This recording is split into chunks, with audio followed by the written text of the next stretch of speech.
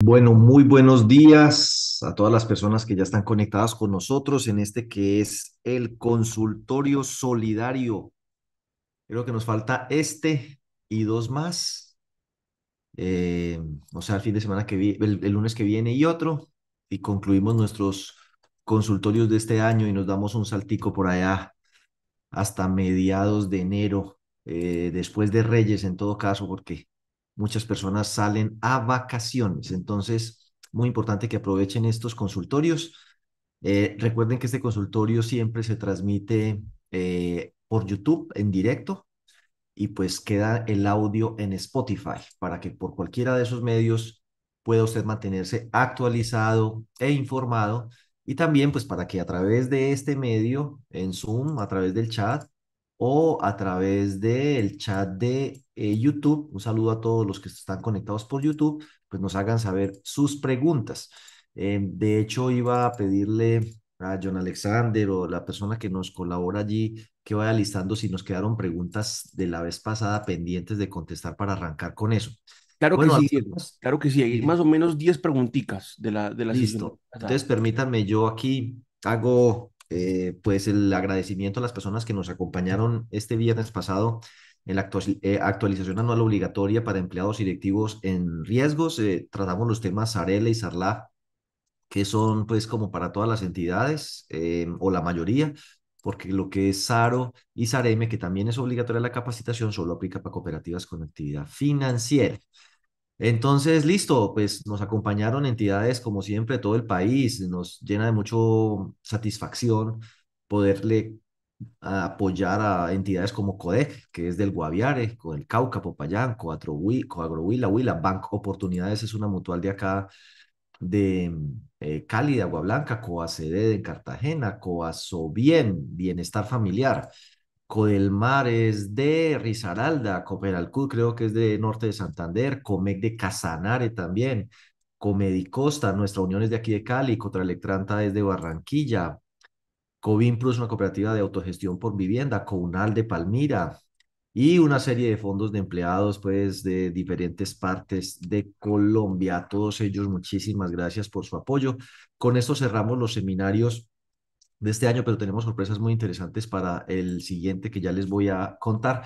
John, proyectame si es tan amable las preguntas que quedaron pendientes de la vez pasada. Claro que sí, Diego, permítame, ya se las proyecto.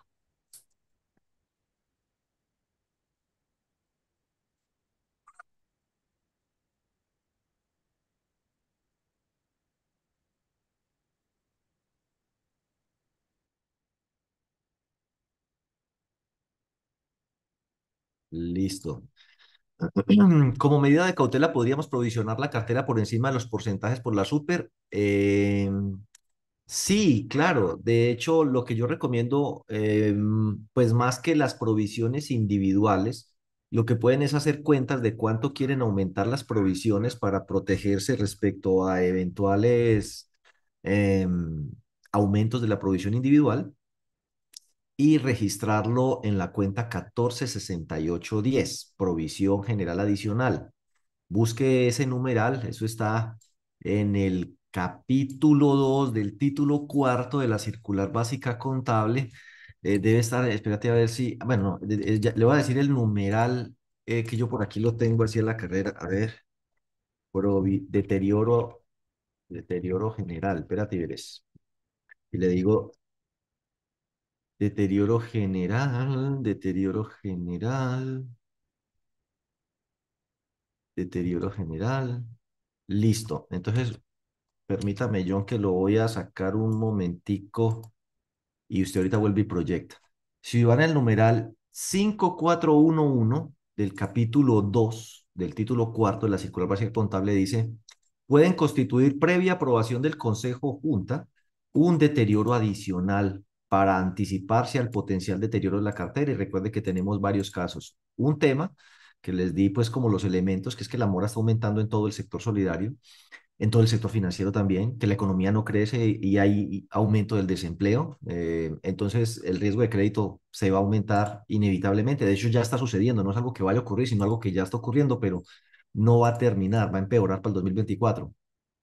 Entonces, ese es un argumento. Y el otro es las entidades que van a tener que aplicar pérdida esperada. Las provisiones se les van a aumentar, sí o sí. Hoy ustedes sobre la cartera A no, no provisionan nada. En cambio, con el modelo de pérdida esperada, algo hay que provisionar en la A, porque hasta la categoría A tiene una probabilidad de incumplimiento. Y eso se multiplica por el valor expuesto del activo, que solo permite descontar los aportes y ahorros permanentes, las entidades que lo tienen, no permite descontar garantías. O sea que entidades que tienen garantía admisible, la base no es cero. Eso juegas en el tercer elemento de la ecuación, que es la pérdida dado el incumplimiento. Entonces, pues si tiene garantía admisible es un porcentaje, si es por libranza tiene otro. Eh, la supersolidaria va a ablandar un poco esos porcentajes de la pérdida dado el incumplimiento cuando es por libranza y no está en mora. Eh, pero bueno, lo importante es que las provisiones van a aumentar sí o sí. Entonces usted dice, y sería bueno que todos hagan el cálculo, bueno, mi provisión hoy es de X. Y si hoy aplicara pérdida esperada, mi provisión es Y, la diferencia es cuánto. Entonces ustedes podrían decir, teniendo en cuenta todo eso, la Junta Directiva o el Consejo de Administración toma la decisión de aumentar la provisión general en 120 millones más, en 200 millones más, registrándolo mediante alícuotas mensuales de 10 millones, de 15 millones, de 5 millones, de 8 millones, y lo llevan aquí, a esta cuenta, 146810. Eso no requiere parametrizarse en el sistema, sino que se hace a manito con una nota contable. Pero es muy importante que esté soportado en ese análisis técnico, donde los dos argumentos son el contexto de la economía, recuerden, aumento del riesgo y de los indicadores de morosidad del sector solidario y del sector financiero, aumento o, tendencia de, escaso crecimiento y aumento del desempleo, el deterioro pues, de la capacidad de pago de la gente por cuenta de la inflación y las tasas de interés. Entonces, todo eso justifica el tema, lo aprueba el Consejo y listo. Y cuando entonces llegue la hora de montar el tema de pérdida esperada, pues ya usted va a tener ese colchoncito que le va a permitir tomar de esa provisión y trasladar para el deterioro individual. Eso está ahí, numeral 5411. John, ahora sí, proyecteme usted eh, las otras preguntas. Eso pues eh, para todas es una recomendación importante.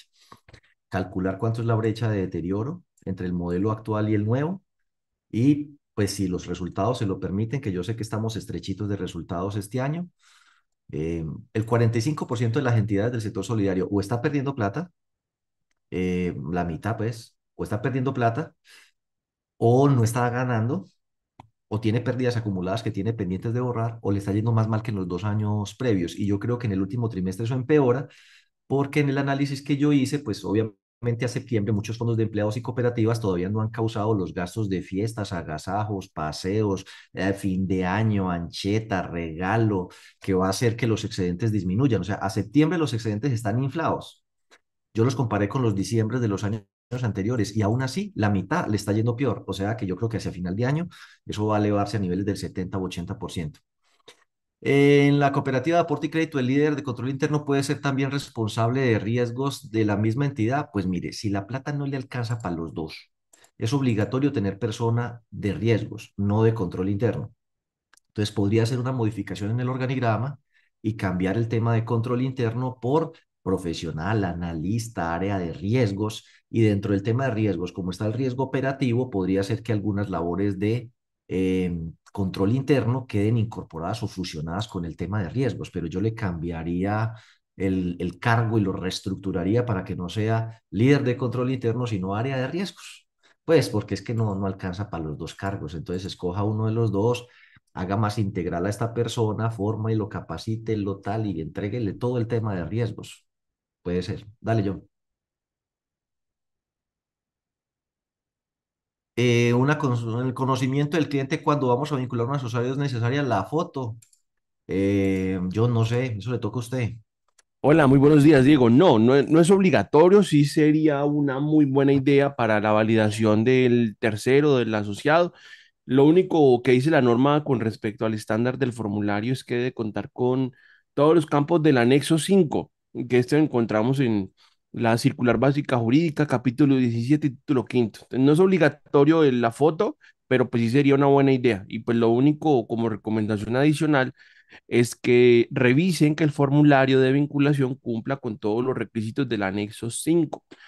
He visto muchas entidades que, bueno, les hacen falta detallitos y pues la verdad es que cuando una, una visita a la Supersolidaria eh, revisa esos formularios, pues luego llegan esos requerimientos por detallitos, por cositas que ni siquiera pues deben permitirse ya que son muy fáciles de solucionar. John, aprovecho para hacer otra pregunta de Sarlaf que le acabaron de hacer. ¿En una asociación mutual de primer nivel de supervisión el contador puede ser oficial de cumplimiento? No, porque muy seguramente ellos son, de, ellos son del ámbito de aplicación 1.1 y la entidad del ámbito de aplicación 1.1 dice muy clara la norma que no puede ser el contador el oficial de cumplimiento ni tampoco el gerente. El oficial de cumplimiento debe tener un, bueno, debe estar en la estructura administrativa en el segundo nivel, debe tener curso de la UIAF, diplomado en riesgos, debe tener capacidad de decisión. Bueno, pero, pero la, la respuesta concreta es que no, no, Si es del ámbito norma 1.1 por ser de nivel 1, no. Precisamente la norma en ese punto sí dice que no puede ser ni el contador ni el gerente. Ya los requisitos de curso, la UIAF, diplomado en riesgos, capacidad de decisión y bueno, que no exista ninguna incompatibilidad ni inhabilidad. Y muy especialmente que pertenezca al segundo nivel jerárquico en la estructura administrativa. Listo, pasa a la siguiente pregunta, John, por favor. ¿Una asociación mutual de tercer nivel debe aplicar o realizar el patrimonio técnico? No, por ahora ese tema de patrimonio técnico solo es para fondos de empleados de categoría plena y cooperativas con actividad financiera. Sigue.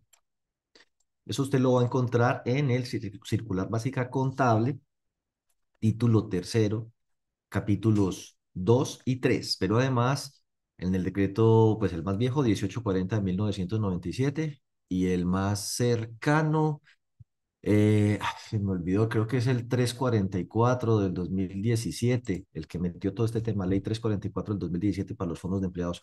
¿Cuáles serían las consecuencias para un fondo de empleados por las pérdidas que genere un año? Pues varias, ¿no? La primera, el tema reputacional, ¿no? Vaya usted presente a los asociados, vea, fue que perdimos plata, pues eso genera cierto nerviosismo, o sea que hay que manejarlo de manera inteligente, primero. Segundo, pues no va a haber excedentes con que alimentar los fondos sociales, o sea que muy seguramente toca apretarse el cinturón para el año siguiente, eh, pues porque sería muy responsable la entidad perdiendo plata, uno con necesidad de recuperarla y tirando la casa por la ventana en fiestas, paseos y agasajos.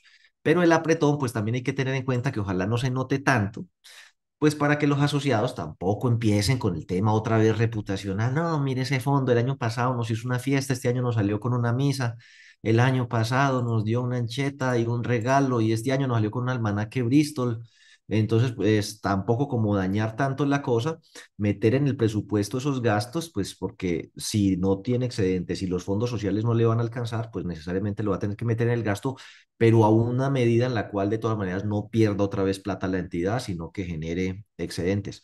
Muy posiblemente, entre las cosas que puede ocurrir es que la super le pregunte, bueno, ¿eso por qué fue? ¿Y qué piensa hacer usted? ¿Cómo lo va a mejorar? Y mándeme unas proyecciones. Y obviamente cuando llegue a la asamblea, pues será una decisión suya si enjuga con la reserva las pérdidas o no lo hace. Por ahí hay una pregunta en el chat sobre el tema, que qué tan conveniente es. Pues conveniente o no, no sé. La verdad es que Igual le toca presentar las pérdidas en la asamblea, dar la cara, igual eso quedan los estados financieros comparativos, nada que hacer, o sea que los bancos cuando le pidan actualización de información lo van a ver, la super lo va a ver, los asociados lo van a ver, o sea que pues igual, si fuera que uno pudiera antes del año borrar eso para que no lo vean, pero no, igual eso hay que presentarlo y explicarlo. Entonces el daño ya está hecho. En la asamblea, si uno enjuga la pérdida con la reserva para protección de aportes, con los excedentes futuros hay que restituir la reserva. O sea que casi daría lo mismo no enjugar las pérdidas, dejarlas ahí y con los años siguientes simplemente pues de los excedentes ir borrando eh, esas pérdidas acumuladas hasta que no se borren las pérdidas o no se restituya la reserva al nivel que tenía antes, no se pueden eh, distribuir excedentes. Ténganlo presente. Dale, John. Eh, un panorama muy oscuro, desafortunadamente. Una pregunta, ¿qué se puede hacer para incentivar el pago de las obligaciones?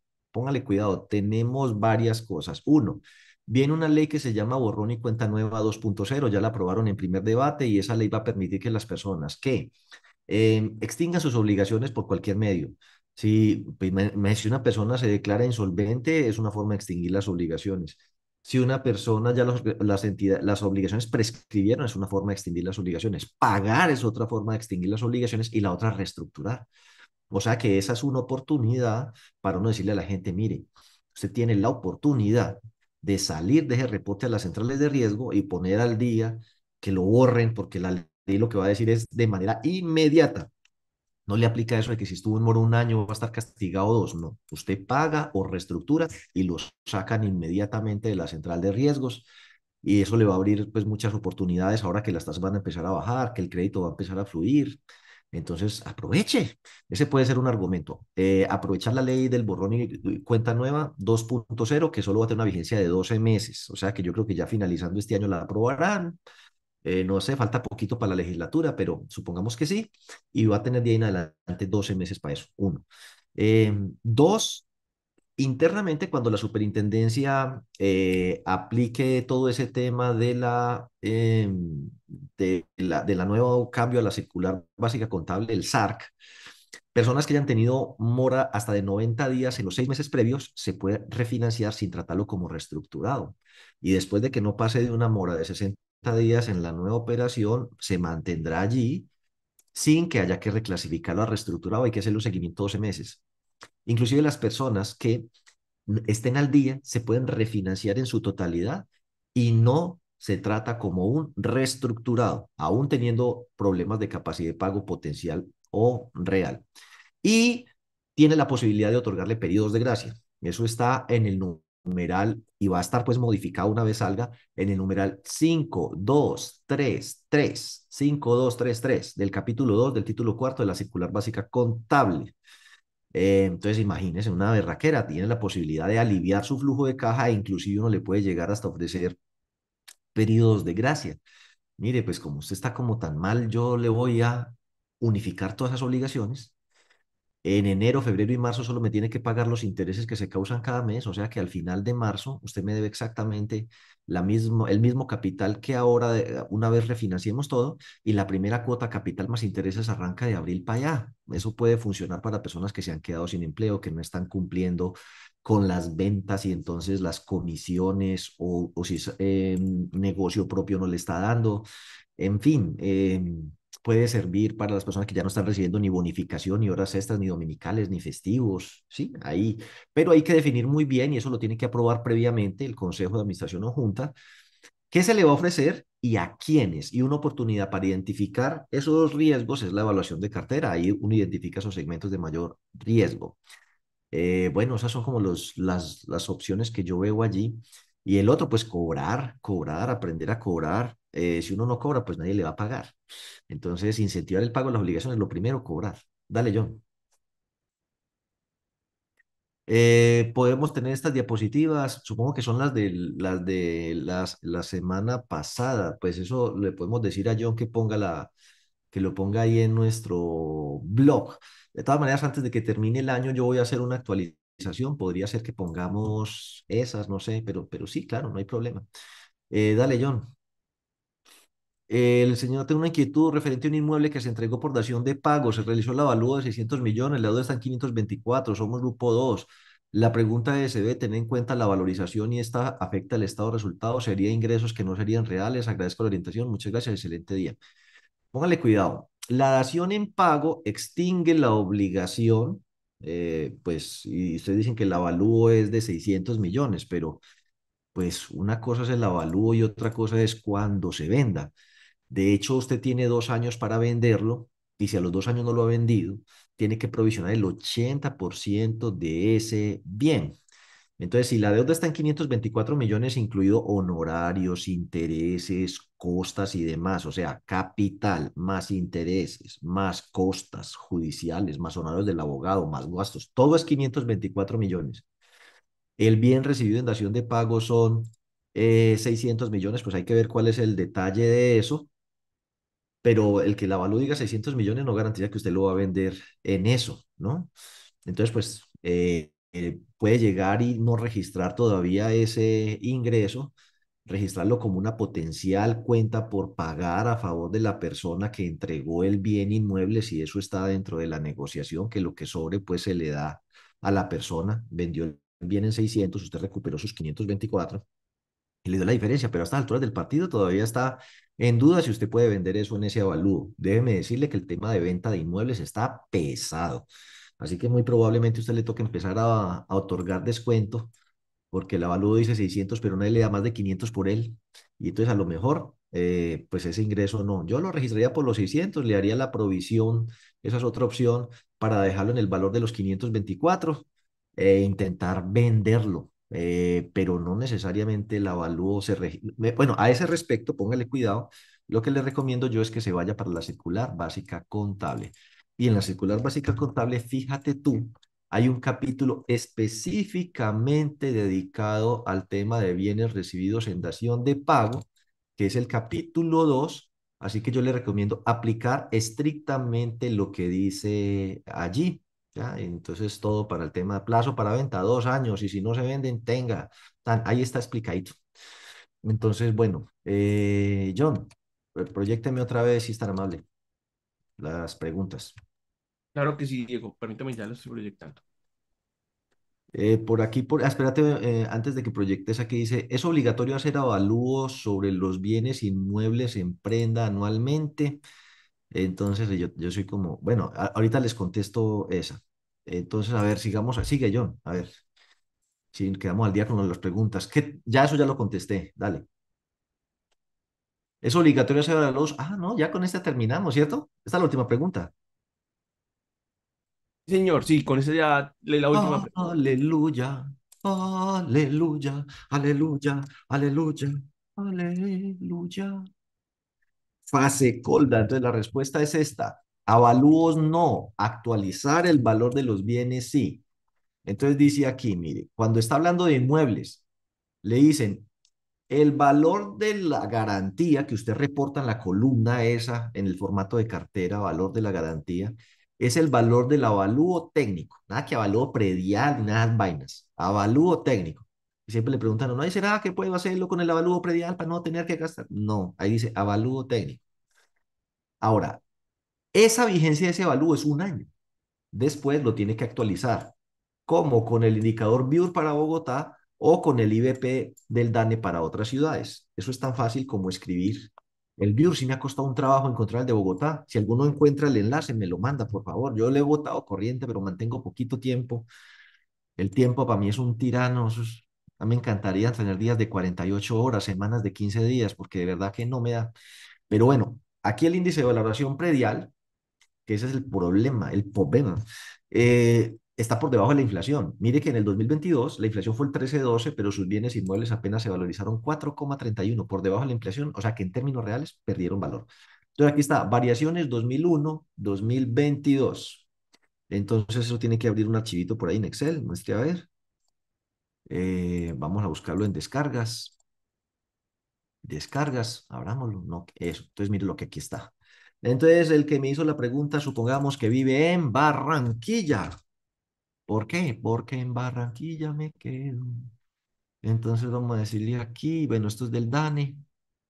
Y resulta que usted en Barranquilla, por acá, le hizo un préstamo a ese señor en el 2019. Y en el 2019, ese bien inmueble valía 100 millones de pesos. La pregunta es, ¿y cuánto valdrá hoy? Entonces, pues eh, usted dice, 100, multipliquémoslo por 1 más el 470%, entonces da 104,70. Y ahora multipliquemos, ah, subimos el 4, da 108. Sumémosle el 473, 114. Entonces, en el informe individual de cartera que usted reporta a la super solidaria para efectos del cálculo de las provisiones y el reporte, ese avalúo ya no es 100 millones. Ese valor era válido un año, pero ya después de un año tiene que actualizarlo en el sistema, no es pagar avalúo. Si va a ser un nuevo crédito, hay que hacer avalúo comercial. Esto es para efectos meramente internos, para el cálculo de las provisiones, para la evaluación de cartera, para decir, Perico Pérez tiene una casa, sí, ¿cuánto es la garantía? No son 100 millones. A plata de hoy, teniendo en cuenta que es en Barranquilla y que esta es la valorización que han tenido las viviendas en Barranquilla, sería 114. Si la ciudad no está en el listado, entonces se hace con eh, el general, el nacional. Y si son vehículos, dice, en el caso de las garantías constituidas sobre vehículos, eh, dice por aquí eh, que bueno, que va a ser con la guía de valores de Fasecolda, miércoles, ¿dónde está eso avalúo? Ta, ta. Su guía de valores de Fasecolda. las actualizaciones, ahí dices que actualizaciones mensuales, bueno, al menos que la haga una vez al año, las actualizaciones posteriores con la guía de valores de fase colda. Entonces entra uno por aquí, guía, valores, fase colda. Bueno, eso ustedes lo tienen en las pólizas, pues yo sí es como enseñarle a mi papá a ser hijos, pero cuando uno tiene esos bienes, posiblemente los tenga dentro de una póliza colectiva y ahí entonces le sale el valor.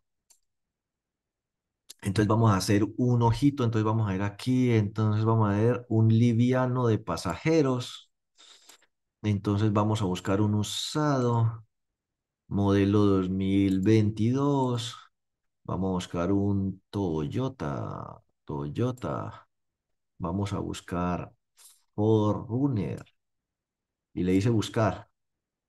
Entonces le dice, bueno, ¿cuál de las dos es la suya? ¿Es una Limited o una SR5? Si es una SR5, tiene una valor de 264 millones. Entonces, y ahí está con modelo y todo, modelo 2022, ta, ta, ta. Entonces usted actualiza con esa guía esas garantías. Bueno, y dicho esto, creo que eh, pues respondimos las preguntas. Afortunadamente ya entonces superamos, no le debo respuestas a nadie. Recuerden que ustedes pueden escribir sus preguntas Em, a través de el canal de YouTube. John, ahorita yo voy a mirar si hay en el canal de YouTube, en el chat hay alguna pregunta y a través del chat eh, aquí. Bueno, por aquí hay dos preguntitas que voy a rematar para que no me quede ninguna. Que el tema de prescripción. sí, señor. También hay una en YouTube, si me permite, yo se la leo. Usted me dirá cuándo. Listo, entonces póngale cuidado. El tema de prescripción, eso usted lo puede buscar eh, facilito, pero está la, la prescripción ordinaria, la prescripción judicial. Eh, eso pues es con un abogado, yo ahí méteme en eso, de pronto hasta, hasta Stephanie, que es nuestra abogada, nos ayuda en el tema, pero eh, yo me acuerdo prescripción de deudas, de deudas en Colombia, y había hasta un concepto, ahí está, ¿cuándo prescribe una deuda en Colombia? Y no es ni viejo, entre 3 y 10 años, dependiendo del tipo, del tipo de deuda, salió en el colombiano, vea, el 17 de octubre, lo que no esté en Google no existe. Eh, cuánto se demoran en vencer, al tiempo de cuánto vence una deuda. Entonces, pégale una investigadita, ranking, prescripción de deudas en Colombia, resuelve tu deuda. Uy, líbranos, señor, pero ahí habla de la prescripción de las deudas. Y pues gerencia que no tiene interés comercial en esto, ¿cierto? Porque es un tema meramente académico. Entonces ahí está, cómo solicitar la prescripción de una deuda en Colombia, concepto del 18 de marzo, pueden entrar ahí del 2022. Que si las prendas es necesario escribirla en Confecámaras, eso lo decide usted. Eso es un tema de garantías mobiliarias que tiene la ventaja de que evita que de pronto se constituya una segunda prenda sobre un vehículo que ya tiene prenda.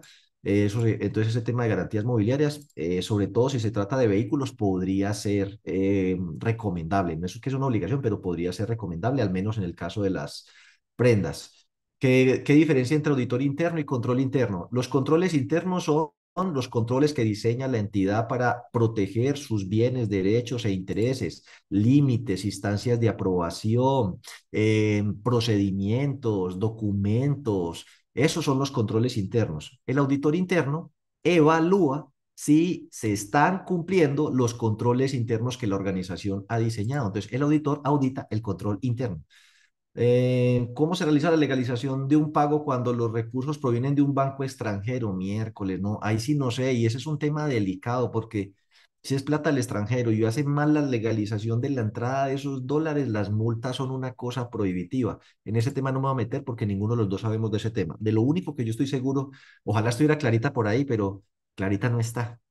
Clarita sí fue tesorera. Eh, no sé, 20 mil años de una, de una empresa muy grande aquí en el Valle del Cauca y a ella le tocaba esas legalizaciones. Es más, nosotros tenemos una amiga, problemas invitarla hasta ahora porque ya está trabajando, que ella es directora financiera de una empresa que legaliza y entra dólares y resulta que donde usted llegue a diligenciar mal el formulario del Banco de la República o haga una embarrada, las multas son un ojo en la cara, mejor dicho, le cuesta el puesto a uno. Entonces, ojo con eso. Lo único que yo le digo es, ojo con eso porque pierde el año.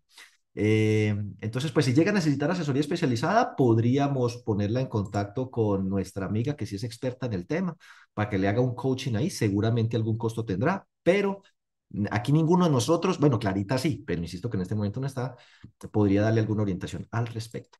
Bueno, eh, John, dígame la YouTube, que ya, ya me cogió la tarde, mano, ocho y media, no me valió de las preguntas. Claro que sí, Diego. La pregunta es, ¿el índice de valoración predial DANE puede usarse como política para el valor razonable de bienes inmuebles que hacen parte de la propiedad, planta, equipo y propiedades de inversión. Oiga, yo tengo, yo tengo, tiendo, tiendo a pensar que en términos generales, sí. Por lo que es propiedad, planta y equipo sirve como prueba de deterioro. Uno dice, pues si los bienes inmuebles no están en terreno negativo, eh, de acuerdo con eso, pues no existe evidencia de deterioro. Primera evidencia de deterioro. Segunda evidencia de deterioro, el bien está en buen estado, no amenaza ruina y está cumpliendo el objeto social o el objetivo para el cual fue adquirido. Entonces, ahí está el bien inmueble, está funcionando, no amenaza ruina, no existe ningún elemento como un embargo eh, o alguna cosa que diga que ese bien inmueble puede llegar a perder su, su valor. Y encima de todo, el DANE, que es una fuente confiable, dice los bienes inmuebles se valorizaron tanto entonces, pues no hay evidencia objetiva para constituir un deterioro, pero sí es importante que en las propiedades planta y equipo, en el caso de los bienes inmuebles, establezcan que al menos cada tres años se actualizan los avalúos como parte del tema de pruebas de deterioro. En el tema de propiedades de inversión, lo ideal sería que cada año pudieran hacer un avalúo, pero igual, como eso tiene un costo importante, podría uno hacer ese ajuste o reconocer esa ganancia con ese índice de valoración predial, pero también establecer que cada tres años se va a verificar y hacer el ajuste con un avalúo de verdad para Dios. O sea que en los periodos intermedios, uno, dos, con el IBP y al tercer año con un avalúo. Y así puedes garantizar que el, el valor de esos bienes se ajusta eh, con una base técnica razonable, atendiendo el principio de costo-beneficio y que pues eh, se hace con la periodicidad suficiente, o sea, cada año. Ahora bien, tengan presente que la NIF establece la posibilidad de que la propiedad planta y equipo se mida o al costo histórico o algunos elementos se emitan por el método de revaluación, que es el método de revaluación igualito que como se hacía antes. Se llama diferente para ponerlo más cachezudo, eh, pero igualito en el sentido es que Usted coge el bien inmueble, lo, valo, lo avalúa, la diferencia la registra como valorizaciones, pero ya no se llama valorizaciones, se llama otro resultado integral. Entonces queda dentro del patrimonio aumentando el tamaño del patrimonio. Y la otra diferencia es que en vez de aumentar un rubro que se llama otros activos como antes, suma directamente dentro de la propiedad planta y equipo y lo puede meter en un rubro eh, aparte, eh, eh, que es pues revaluación de bienes inmuebles, por ejemplo, o inclusive de los, de los vehículos. Entonces así mantiene actualizado el activo, mantiene actualizado el patrimonio. Igualito que antes, recuerde que eso no se deprecia, se deprecia el costo histórico. ¿Qué tiene de ventaja? Pues que mantiene su patrimonio actualizado. ¿Qué tiene de desventaja? Que al subir los activos va a pagar más por supervisión de la supersolidaria. También puede ser que suba de nivel de supervisión porque eso se hace por tamaño eh, de activos. Eh, ¿Y qué más era que estábamos? Ah, las propiedades de inversión, si olvídese otro resultado integral. Las, los ajustes de las propiedades de inversión afectan resultados, van directamente a ganancias, aumentan el excedente distribuible. Otra cosa ya es el tema tributario, eh, que pues ya habrá que hacer alguna depuración, no sé. Ese tema tributario sí no me atrevo a, tocarlo, pero al menos contablemente afecta el excedente que es distribuible y por tanto el impuesto de renta a pagar por el, caso de las cooperativas y mutuales. Eh, eh, ¿Qué más dice aquí? Que cómo se califica, se manejan las nuevas calificaciones E1 y E2. Mire, esas calificaciones E1 y E2, eso es para efectos internos, pero para efectos contables toda la E va en una sola eh, cuenta. Eh, ¿Qué dice aquí? ¿Se puede reglamentar que los saldos mínimos de cartera que no pagan los asociados se puedan asumir al gasto? Pues se puede reglamentar, no, yo creo que pues sí puede ser una política, pero además eso puede llevarse como una depuración contable para que lo apruebe el consejo, tal, y pues se le dé baja a esas cosas. Eh, pues porque en el tema de un activo es un derecho eh, o a raíz de un hecho pasado, del cual se espera a futuro obtener beneficios económicos. Sobre esos saldos mínimos chiquitos, si no hay beneficios económicos que se pueda esperar, porque la verdad no la van a pagar, pues usted lo que lo tiene es que deteriorar 100%. Y después de deteriorado, pues castigarlo. Y así se le da de baja a esos salditos chiquitos. ¿Dónde está eso? Bueno, y hay que establecer a partir de cuándo se considera castigo y cuándo es una mera depuración contable. No sé, 10 mil, 20 mil, 30 mil, 50 mil pesos. Eso sí lo puede poner en el manual de políticas contables, pues para no llenar a la Supersolidaria y el CICSES y las cuentas de orden de, de, activos castigados demasiado pequeños que no valen la pena. ¿Eso dónde está? Castigo de activos está en el capítulo, sí, creo que es el 3, de la circular básica contable, título primero, capítulo 3. Ahí está el tema de, de baja. Bueno, y el tema de deterioro, eh, pues está en las NIF. No me acuerdo la NIF, pero es todo el tema de deterioro. Dale, John. ¿Hay más preguntas? No, no, señor, no hay más preguntas. Eh, no, ya, ya. Son la idea es no quedar con preguntas pendientes. Oiga, novedades, malas noticias. El tema de la inflación no pinta bien, así que las tasas de, el crecimiento económico no pinta bien, así que las tasas de interés sí van a bajar, pero en el primer semestre si baja no va a ser gran cosa, va a ser sobre todo hacia el segundo semestre del año 2024. Eso fue lo que dijo el, director del Banco de la República en el foro con Corfi Colombiana de Perspectivas Económicas para el 2024. Esto fue bastante reciente, eso fue el jueves, viernes de la semana pasada y pues es el señor que dirige el tema de la política monetaria en Colombia, y si él dice, oiga, yo, nosotros no vemos ni la inflación bajando, ni los alimentos, tenemos una enorme preocupación con el fenómeno del niño que va hasta abril, suben los combustibles, hay un poco de cosas que le echan ganitas al tema de la inflación, así que pues de haber rebajas sí las va a haber, sí, sí las va a haber, él dice que sí, pero que el primer semestre no tanto, sobre todo para el segundo semestre del 2024, entonces los que están esperando que esas tasas empiecen a caer en picada, no, de pronto van a tener un descensito así y luego ya hacia el segundo semestre de pronto, bueno, y eso aquí no me quedó como muy bien, más pronunciado. Eso es lo que le estaba diciendo ahí. Eh, segunda noticia, no sé si para usted sea buena o mala, eh, la negociación del salario mínimo arrancó más o menos en el 11%, teniendo en cuenta que el DANE recomendó tener en cuenta un 0,76% de productividad laboral y la inflación, pues la última encuesta la proyecta en el 9,51, entre el 9,51 y 10, o sea que todo pinta como para un reajuste, pero ese es el piso, ¿no? De ahí para adelante lo que logren presionar. Entonces, entre 11 y 13% seguramente va a estar el reajuste del salario mínimo, no se va a lograr el, el 16% que quisieran las centrales hebreras, difícilmente se va a lograr el 9 que están, eh, que están proponiendo los gremios, la cosa va a estar más entre el 11 y el 13. Y por ahí, pues vayan teniendo en cuenta eso ustedes para sus reajustes salariales. Lo otro ya se los dije, pasó, borrón y cuenta nueva, pasó en primer debate. Entonces, la cosa va bien, ya veremos cuando llegue. Bueno, por ahí resultó una cooperativa por allá, es que captando ahorros. Oiga, tengan presente que las cooperativas no pueden captar ahorros si no tienen autorización previa la supersolidaria y autorización previa, eso es prácticamente imposible obtener en este momento. O sea, se lo digo con toda honestidad, la cooperativa que esté pensando en transformarse en cooperativa de ahorro y crédito debe pensarlo muy bien. Primero porque es un camino tortuoso, muy tortuoso. Usted tiene que, tiene, tiene que demostrar que ya tiene montados todos los riesgos, riesgo de mercado, riesgo de crédito, riesgo operativo, lavado de activos, eh, oiga, ya me olvidó el otro, eh, y liquidez, ¿no? Que los tienen los cinco. O sea, primero monte los cinco y después le digo si le autorizo el ejercicio de la actividad financiera. Es un proceso complicadísimo y no les gusta cooperativas pequeñas. O sea, a ellos les gustan cooperativas grandes. Eso de que, ay, que yo tengo 10 mil millones de activos y me quiero convertir en cooperativa de bájese de esa nube porque no se lo van a aprobar. Su otra opción está por el lado de las mutuales y de, las, de los fondos de empleados. Esas pueden recibir ahorros sin autorización de la supersolidaria. Desde que nacen ya pueden recibir ahorros pero no faltan las cooperativas que se montan en la película y que recibir ahorros así porque sí, yo no sé de dónde sacan eso. Eso inclusive es delito, captación masiva y habitual del público. Entonces, han, resultado varias en estos días en ese rollo. Otra cosa, 6 de diciembre del 2023. Eso no sé cuándo es, eso esta semana. ¿Hoy qué día es?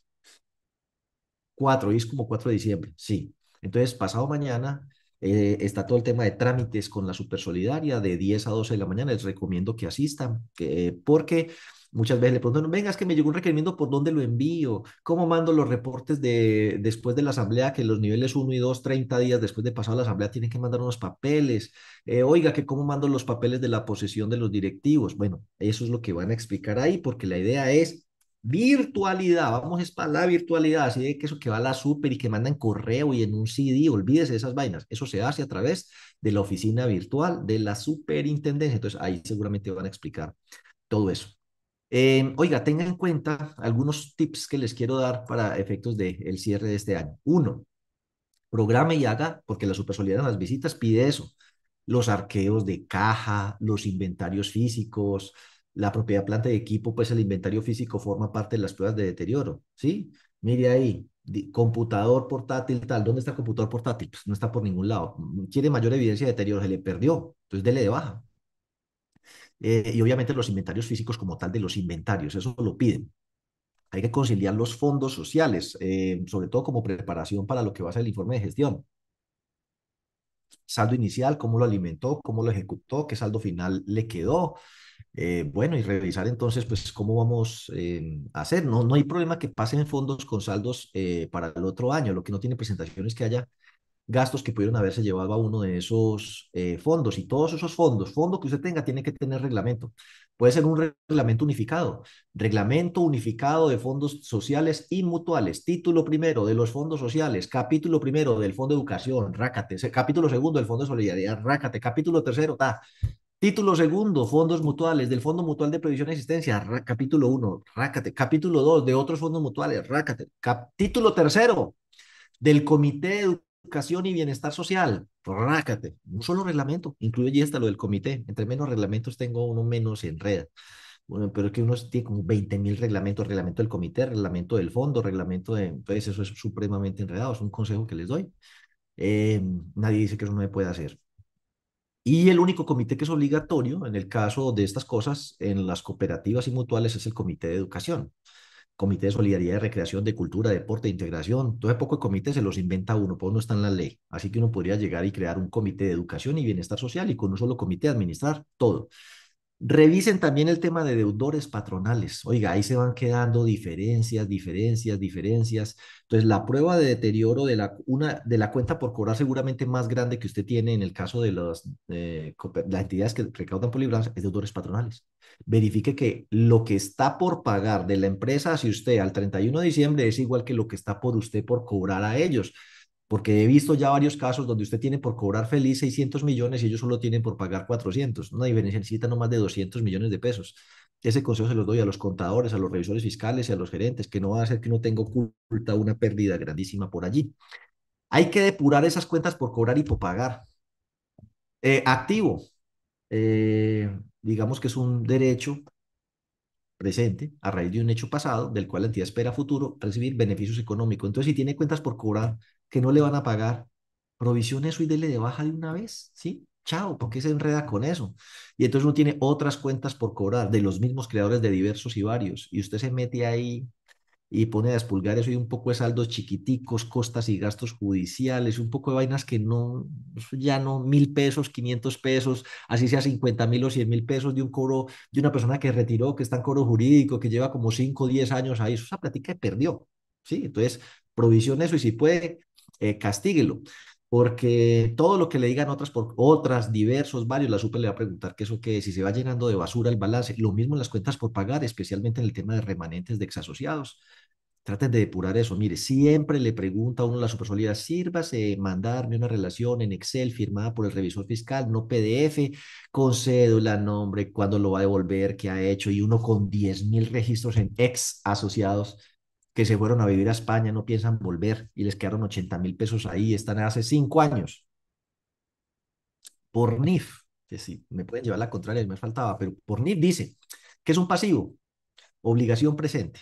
Es una obligación a raíz de un hecho pasado, listo, ya ocurrió, del cual la entidad espera, o sea que es más probable que ocurra que no ocurra, que la entidad tenga que desprenderse de beneficios económicos. Y uno mira y esa última parte de la probabilidad no la cumplen un poco de cuentas por pagar. ¿Quién va a venir por 500 pesos, 1000 pesos? Le sale más caro el, traslado, la transferencia, sale más caro el cheque, sale más caro el pasaje para venir aquí para yo entregárselo de caja menor. Eso ya no lo van a cobrar.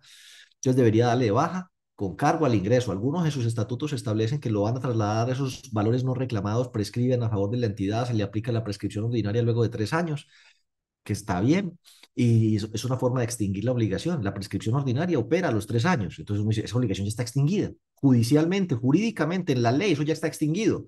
Entonces ya no existe la obligación y tampoco es probable. De los tres elementos ya lleva dos para no reconocerlo. Entonces dele de baja al ingreso, pero si usted establece que al fondo inclusive se podía tirar el aventón de llevarlo a un fondo, aunque contablemente debería ser em, al ingreso. Legalicen los anticipos. Uno no debería cerrar el año con que es que anticipo de cuentas por cobrar o ingresos anticipados, eso debería quedar reconocido, o es ingreso, o es gasto, o a una cartera, o lo que sea.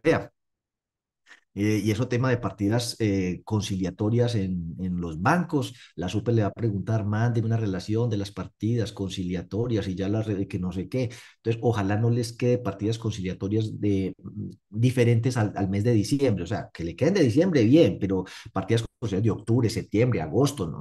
hay que depurar esa vaina.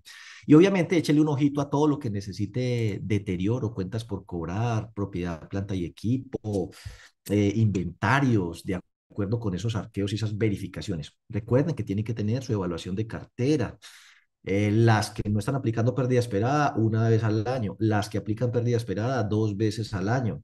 Debe tener sus certificados de capacitación ya, pues hablando del CIAR, las que tienen, no manejan ahorros, entonces pues la de.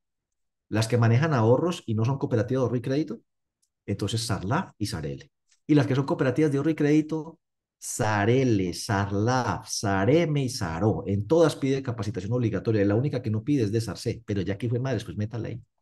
Listo, los certificados de las inversiones. En las últimas eh, intervenciones que ha hecho la Supersolidaria, por ejemplo, en el caso de Colever, eso de Colever ha sido una película que la intervengo, que alguien presentó un recurso de reposición, que entonces ya no la intervengo, que no, entonces me va a fusionar con Covitel, y entonces aparece Fogacoin en un momentico, ¿cómo así que se va a fusionar? Olvídese de esa vaina, mire que esto se puede em, subsanar, entonces se subsana, entonces ahora otra vez está intervenida en administración Colever, una película, mejor dicho, está mejor que Mad Max Furia en el camino esa, eh, de Colever, toda la acción que se ve ahí. Em, en estos días estudiamos, vamos a estudiar casos y ahí podemos ver el caso Colever, pero eh, pues otra vez la, intervinieron y es un tema de inversiones, ¿sí?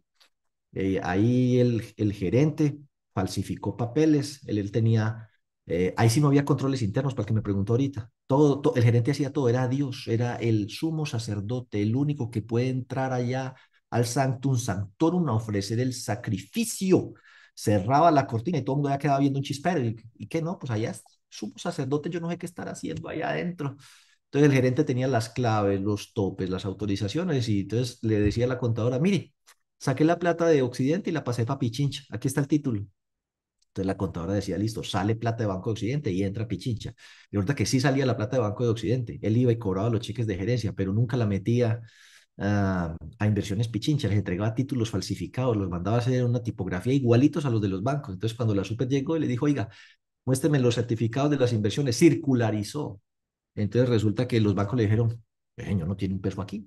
Entonces, así se le robó todas las inversiones del fondo de liquidez em, y las inversiones por allá de, eh, pues de, de, las otras inversiones a costo amortizado. Fuera de eso, hizo un crédito a nombre de la entidad les hipotecó la sede, falsificó el acta para eso. Eh, entonces, cuando la super consultó a la central de riesgos, aparecía la entidad con una obligación financiera que no estaba incluida en los estados financieros. En total, el TUMBI son como 10 mil millones. Cosa parecida ocurrió con el tema de los eh, sistemas en eh, progresemos en Cali. El ingeniero de sistemas, ayer era el sumo sacerdote, el único que entraba al Sanctus Sanctorum a ofrecer sacrificio al software, porque él mismo lo había de ser, eh, diseñado. Él cantaba el villancico, yo me remendaba, yo me remendé, yo me estoy remiendo, yo me lo quité, pero aquí no entra nadie. Yo soy el camino, la verdad y la vida. Nadie entra al software si no es por mí. Entonces, el revisor fiscal, el contador, el gerente necesitaban un listado, él se los tenía que dar. Y así de ese modo ocultó un, un, fraude que tenía y que sacaba la plata en complicidad con dos cajeros y no se les robó sino como 9 mil millones de pesos, pero que, que no, que eso se les volvió plata de bolsillo, que no tienen la plata para devolverla, que qué pena. Y ahí se tiraron otra cooperativa. Y por ahí hay una que no me atrevo a decir el nombre porque la, la confundo. Eh, no, no, sé, pero me lo, igual va a ser uno de los casos que vamos a mirar, que es la de pilotos creo que es la de pilotos, donde tampoco cuadra los valores que aparecían en caja y bancos con, contables con los valores reales. Entonces, consejo, verifiquen esos saldos de obligaciones financieras, hágale una consulta a su entidad, a la central de riesgos, a ver con qué obligaciones financieras aparece. Y obviamente circularice el tema de las inversiones. Consejo que lo vea contadores, revisores fiscales. Ustedes vieran la pobre contadora y revisor fiscal de Colever, la encartada en la que están. Eh, y, los, y los propios directivos. Entonces, tanto las inversiones como las obligaciones financieras hagan su, su revisión de esa certificación, eso si existe o no existe, circularicen y las obligaciones financieras. Lo mismo el tema de eh, verifiquen no solo las conciliaciones bancarias, ¿no? Sino pidan certificación del banco, de, o sea, una circularización, una certificación de los saldos que hay ahí. Usted da vivienda 500 millones, en la realidad 5 millones. Ah, no hacen falta no 495. De ese tamaño eran los faltantes por allá o las diferencias contables en el caso de la de pilotos. O sea, nos salieron bien aviones. Bueno, eh, luego vienen inversiones en subsidiarias. Tengan presente que las inversiones en subsidiarias se registran por el método de participación, nada del costo ni valor razonable. Eso está ahí en la circular básica contable. Eh, está en el título 2 y eso debe ser el capítulo 2 y váyase por allá donde dice inversiones en subsidiarias. Por el método de participación, nada de valor razonable y costo. ¿Eso qué significa? que si hay ganancias por valoración de bienes inmuebles, propiedades de inversión o propiedad planta de equipo que aumentan el ORI, no el resultado, entonces yo también aquí aumento mi patrimonio, no el resultado. Pero si aumenta el patrimonio por cuenta de unos resultados o excedentes positivos, eso se debe reconocer como ganancia en el estado de resultados de la matriz. Por ende, aumenta el excedente distribuible, por ende, aumenta el impuesto de renta en el caso de las cooperativas. Así no se haya producido la distribución de dividendos. Sube el valor de la inversión contra la ganancia, sube el valor de la inversión contra el patrimonio.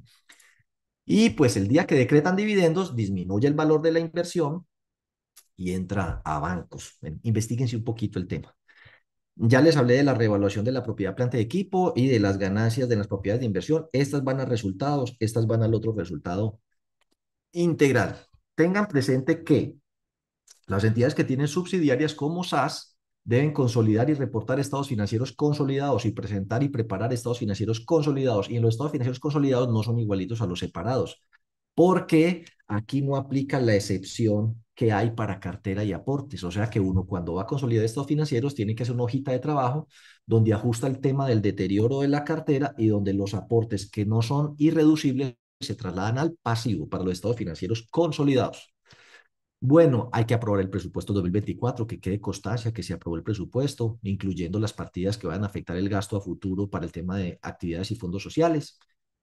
Dice el capítulo 1 del título cuarto que la Junta Directiva o Consejo de Administración debe evaluar el CIAR por lo menos una vez al año y hacer los ajustes que considere pertinentes. También que periódicamente hay que hacer pruebas de estrés en los modelos de riesgos. Entonces, eh, dejen evidencia en alguna parte de eso, de que evaluaron pues las matrices y los riesgos de cara al 2024 y que pues en materia de crédito los riesgos para el 2024 son esto y en liquidez y en mercado y en operativo y que vamos a hacer esto o aquello, lo otro, o sea, actualizar las matrices de cara al 2024 porque la cosa cambió. Em, yo diría que el protagonista por ahí en el 2021, 2022, fue el riesgo de liquidez, un exceso de liquidez. Para el 2023 fue el riesgo de mercado. una estrechez de los márgenes de intermediación por la disparada de las tasas. La liquidez, no hay problema porque al subir yo las tasas, los CDTs que se habían ido volvieron, pero lo que ya no me dieron fue los resultados. O sea que primero fue riesgo de liquidez, luego nos pegó el riesgo de mercado y ahora lo que nos va a dar duro es riesgo de crédito por el entorno que estamos viviendo y por el cambio de norma a la hora de calcular el deterioro. Oiga, pongan al día las actas, eh, las actas de junta, las actas de comité de control social o junta de vigilancia, a las que les toca buen gobierno, decreto 962 del 2018, lo que es junta de vigilancia o control social, dice mínimo trimestre, eh, una vez en el trimestre, pero pues hay que aplicar lo que diga el reglamento internamente. Si dice mensual, mensual. el consejo y junta directiva sí es mensual. La de riesgos es mensual. Eh, comité de riesgo de liquidez solo tienen que tener las cooperativas con actividad financiera y los fondos de empleados de categoría plena. Los que no sean fondos de empleados de categoría plena no tienen que tener comité de riesgo de liquidez. Léanse el punto 2 del capítulo 3 del título cuarto de la circular básica contable. Alcance, ahí dice, eso solo aplica para fondos de empleados con categoría plena. O sea, que los demás fondos con que hagan la brecha tengan su fondo de liquidez, monitoreen el riesgo, es suficiente, no tiene que tener comité interno de riesgo de liquidez, ni matriz, ni pruebas de estrés, ni pruebas de desempeño, ni nada de esas vainas que hay de ahí para adelante. Eh, yo eso se lo consulté a la super y me lo contestó, efectivamente, usted tiene razón, pues así es. Eh, anunciar fecha en la que se va a convocar a la asamblea. Oiga, sí, tengan presente que las últimas dos semanas de marzo son Semana Santa. Y entonces, pues ahí por lo menos nosotros ya tenemos armado paseo desde el fin de semana anterior. O sea, nosotros regularmente empaquetamos esa vaina. Viernes por la tarde desconectamos, apagamos celulares y nos empatamos sábado, domingo. Y aquí nos pedimos, y como nosotros mismos somos los jefes de nosotros, nos damos lunes, martes y miércoles. No, no sé si este lunes, este va a tener un lunes festivo, no me acuerdo. Eh, entonces, si tiene lunes festivo, porque se me escapó, pero, pero yo le digo. Efectivamente, el 25 de marzo es festivo, o sea que no es sino pedir 26 y 27, dos días, y empaca usted nueve días de de, de descanso, pues, y de entrega a la meditación, a la espiritualidad, a la contrición. Ay, que paseo, fiesta y nada de eso. Pero lo cierto es que sí va a ser muy difícil que usted programe pues una asamblea, eso va a ser muy antichévere. El 22 o el 23 de marzo, que ya arranca esa semana, y menos el 29 y 30, que van a estar en pleno sábado santo y domingo santo. O sea que el número de sábados que usted va a tener para su asamblea son muy poquitos en eh, marzo. Espérate que le estaba diciendo los, los, días que no son. Sí, solo va a tener tres sábados, 2, 9 y 16. No cuente con el sábado 22, ve, no, no, no cuente con el sábado 23 ni con el sábado 30, marzo 31 le cae un domingo de resurrección. Entonces, mire muy bien sus fechas, planela y avísele a la gente con anticipación a qué fecha, en el caso de los fondos de empleados, por ejemplo, o de las cooperativas que así lo tengan, van a convocar asamblea. Para decirle, mire, nosotros vamos a convocar asamblea el 15 de marzo, el 15 de enero, o sea, el 15 de enero se reúne la junta directiva para convocar a asamblea. Hasta ese día tiene usted fecha para ponerse al día, porque si ese día, el día de la convocatoria, no está al día, queda inhábil. Bueno, entonces programen bien eso. Eh, depuren la base social de asociados inactivos. Uno dice, ay, yo tengo 8.542 asociados. Y va a ver, y tiene 542 que llevan 8, 7, 6, 5 años sin poner un peso de aportes. O tienen que 10 mil pesos de aporte y usted lo cuenta como asociado. Apliquen el estatuto. El que, el que incumpla sus obligaciones económicas va de 90 días, queda en causal de exclusión. Listo, todos estos están atrasados en más de 90 días en el pago de aportes, se van de exclusión. Háganle el debido proceso, notifíquelos por como diga el estatuto, pues les manda carta y si no, nada, o, o, mail o tal. Entonces, eh, por edicto, y una vez cumplido todo, listo, le da de baja esos aportes, los saca del patrimonio y de la base social, los lleva remanentes de exasociados y espera ahí los tres añitos para que le aplique la prescripción ordinaria. Vénganos en tu reino, o a los fondos sociales o al ingreso. Lo correcto es al ingreso, sí, pero pues algunos estatutos tienen esa vaina que a los, a los fondos. Eso no está bien con las NIF.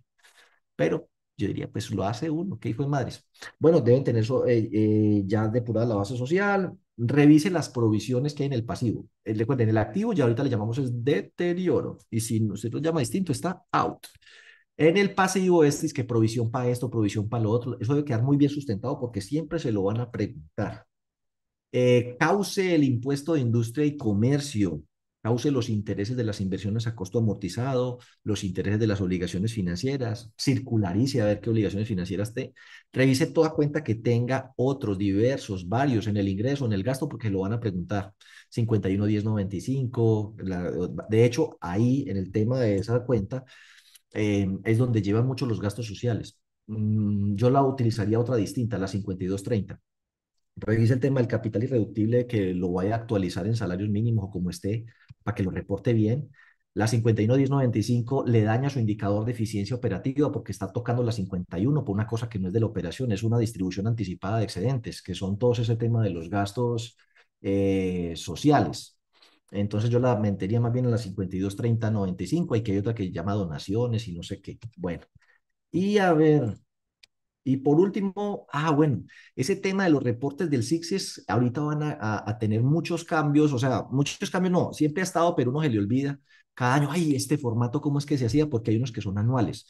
Y por primera vez a las entidades de tercer nivel de supervisión, creo que es la cosa, les va a tocar hacer el reporte de productos. Entonces, por eso en el tema de, y como ya se nos acabó el tiempo, oiga, nunca el tiempo es suficiente, nunca me alcanza, a tener que saltar aquí eso y, después volver a hablar. Eh, bueno, pues quiero agradecerle también al Fondo de Garantías CONFE, mm, que maneja todo ese tema de afianzamiento. Tengo un convenio con ellos y a StarSol, que es nuestro software de riesgos. Eh, tenemos mm, unos próximos seminarios que usted puede aprovechar para pagarlos antes de este 23 de diciembre con precios del 2023. Se inscribe y los paga. El 17 de enero del 2024, todos los fondos de empleados de tercer nivel, recuerden, van a tener que hacer un nuevo por reporte, el de productos, por primera vez. Entonces, fondo de empleados de tercer nivel, Póngase mosca, 17 de enero del 2024 lo esperamos para esa capacitación. El 26 de enero del 2024 vamos a tener todo el tema de cierre contable, fiscal, reportes al CICSES. Entonces, ahí profundizaremos sobre esto que les he dicho. Tenemos una nueva eh, iniciativa, eh, se llama PESEM, Programa o Plataforma Educativa para el Sector Solidario Empresarial. ¿cierto? Porque hay sector solidario no empresarial como fundaciones, asociaciones, ¿no? Esto es cooperativas mutuales y fondos de empleados. Por eso llama así, Plataforma Educativa para el Sector Solidario Empresarial, eh, PSEM. Tenemos cuatro cursos eh, hasta ahora. Tenemos el de inducción cooperativa o finanzas personales, o sea, son dos cursos y pues dependiendo de la cantidad de personas es el costo. Por ejemplo, si usted compra un paquete de mil, le salen 12 mil eh, pesos cada uno, o sea que la capacitación a los mil asociados le va a salir en 12 millones el curso de inducción cooperativa. O si usted lo quiere sobre finanzas personales, puede comprar eh, paquetes de 5, de 10, de 20, de 50. El precio entre más es la cantidad de personas, pues reduce para aquellas personas que no pueden eh, programar o asistir a cursos de cooperativismo presenciales o en una fecha específica, pues lo toma aquí y obtiene su eh, certificado de inducción. Si requiere más información, pues con gusto se la brindamos. Y pues con estas personas, cuando ya llevemos cierta cantidad, los vamos a estar em, invitando a espacios presenciales eh, como de coaching en el tema, por ejemplo, de finanzas personales o de cooperativismo, pues como unos refuerzos, pero el curso es 100% virtual y asincrónico. También tenemos el de formación en riesgos o el de formación y actualización de directivos. Entonces, si no pueden hacer la capacitación presencial o eh, sincrónica en una fecha que nosotros demos, pero usted quiere formar sus directivos o empleados o asociados en el tema de riesgos, eh, pues entonces, digamos que es el curso en riesgos orientado más a directivos que no tienen que meterse a hacer cálculos de brechas y eso. Así que pues no nos vamos a poner a meter ahí que la brecha se hace así, que el monto promedio día a año, no, es, es un tema de riesgos para directivos, asociados, empleados en un nivel pues de comprensión del tema de los riesgos, pero no en un tema de sentarse a hacer. Para eso nosotros tenemos pues nuestros cursos en donde enseñamos a hacer a las personas que trabajan en riesgos, eh, pues como los reportes, eh, a la gestión de los riesgos. Este está más orientado a los eh, directivos y ahí está. Entre más personas vincule usted mejor. Entonces usted dice, no, yo quiero capacitar en riesgos a todos mis empleados y directivos en todos los riesgos. Bueno, le sale cada uno en 220 mil pesos cada uno lo hace al ritmo y en el tiempo que requiera. Él va módulo por módulo y entregando los materiales y lo certifica al final. Eh, oiga, y entonces dentro de ocho días miramos el primer caso afroamericana y seguimos con demás temas e inquietudes. Al menos hoy quedé al día con el tema de las preguntas. Las últimas que hayan hecho por ahí, arrancamos con ellas dentro de ocho días. Y muchísimas gracias y feliz Navidad que ya arrancamos. Nos vemos dentro de ocho días en nuestro penúltimo consultorio solidario de este año.